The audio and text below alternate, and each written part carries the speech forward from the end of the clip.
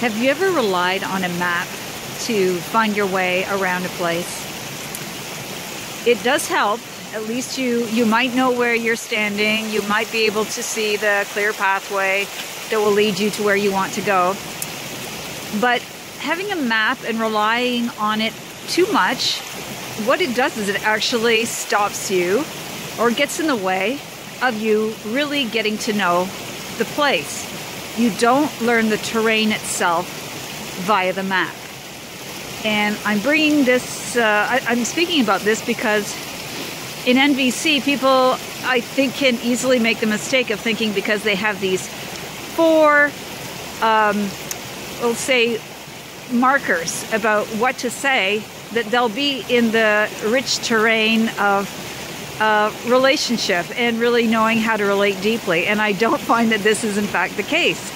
At some point, you recognize those markers have a limitation and you must put down the map. That's how you really get to know the place. That's how you get to know the terrain.